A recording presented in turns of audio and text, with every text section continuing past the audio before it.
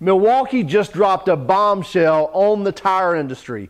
We'll get into the details in just a moment. I'm Tim Johnson. You're watching Shop Tool Reviews. Milwaukee has just announced they're going to release a one inch D handle high torque impact in their M18 line in Q2 of this year. That's just weeks away. So here in 2020, we're going to get the first cordless high torque impact with a one inch anvil.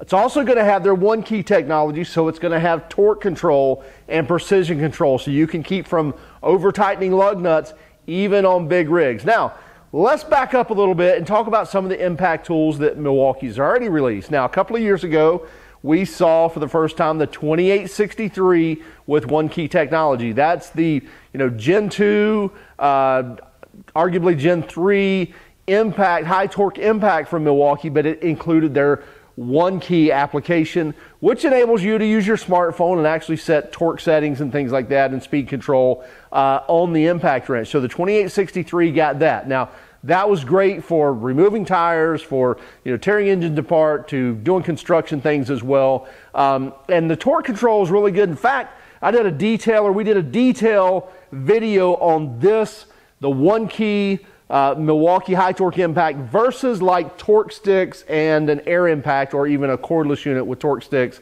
And there's a lot of great detail in there, but there is a lot of detail. I don't want to cover that right now. But I'll put a link uh, uh, to that video in the description, so make sure you check that out. So, jump to last year at NPS or their new product symposium, and Milwaukee showed us the 2867. Now, this is a one inch high torque impact. Now, is it a D handle? No, it is not. Even though the majority of the videos, I shouldn't say the majority, but a lot of the videos and content that you see out about the 20, 2867 is showing it taking lug nuts off and taking tires off of rims. That's not what this machine was designed for. It's not what this tool was designed for. Milwaukee will tell you that. Even though everybody likes to think, hey, I can take my tires off. Will it do it? Absolutely, it will. But what's really meant to do that is this new D handle that they're releasing in the next couple of months or even the next few weeks.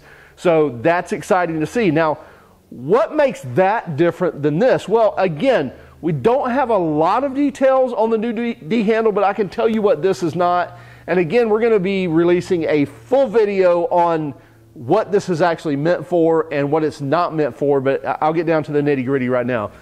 This is meant for more hard joints. This uh, this impact is meant for not so much a soft joint. What's a soft joint and a hard joint? Well, kind of in a, in a nutshell, a soft joint would be taking wheels and tires off of cars. So that's kind of a part that's meant to come on and off. Uh, not, not so much meant to move around, but again, it's meant to come on and off. That's kind of a soft joint. What's a hard joint? Well, a hard joint would be more maybe structural steel.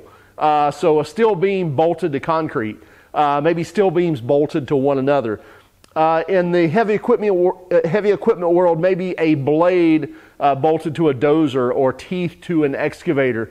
Things that are meant to bolt on hard together, no moving joints there, not meant to come apart until they're ruined or does, you know what have you. But so that's kind of in a nutshell what the difference in a hard joint and a soft joint is. And again, that's machine was not designed for that. Will it take those lug nuts off? Yes. Was it meant to compete with a D handle or replace the D handle? No.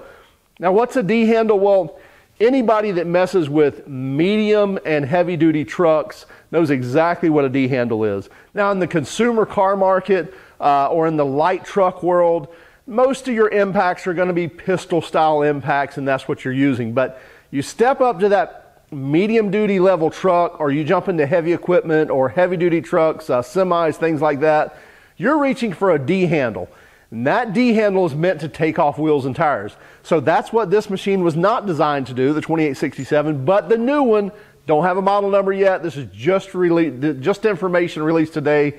We got very little information on it. Now we are told that it is going to be the most high performance impact ever. I, don't think they said ever. But anyway, it's going to be the strongest impact tool on the market, bar none. So I would imagine we're going to see it somewhere in the 1,500 pound range because, uh, you know, we saw the quote 1,400 foot pound uh, Milwaukee and then come to the Uh, I think they tuned this down to 1,100 foot pounds. Maybe it was 14. I, am not remembering. But regardless, I, I, really don't think it matters. I think it's going to back off lug nuts with no problem at all, or I don't, I don't think they would release it.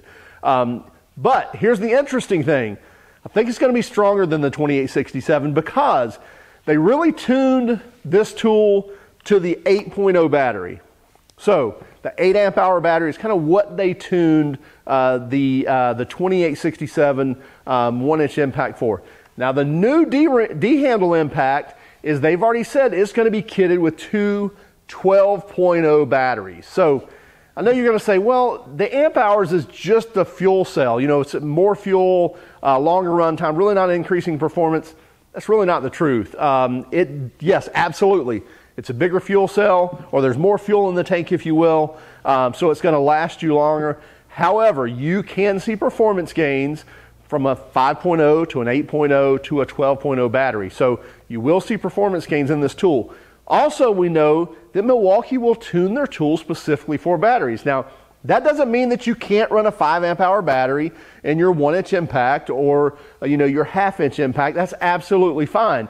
But again, with, with all the electronics, uh, with brushless drive controls and things like that, with onboard chips on these machines, they can definitely tune their machines to be peak performance with certain battery packs. So, with me seeing that there's going to be kitted with two 12.0 batteries, I promise you this tool is going to be set up to be the best with a 12.0 battery pack, which tells me they're going to utilize the most they can out of a 12.0 pack, which again leads me to believe it's going to be stronger than these two machines here. So, this new D-handle impact, we're excited to see it. The new handle is supposed to be removable as well as be able to rotate 360 degrees.